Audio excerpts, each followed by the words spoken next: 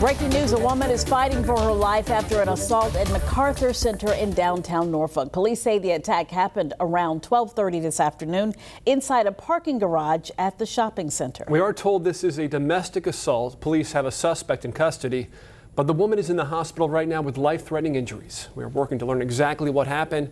We'll bring you updates as soon as they come in.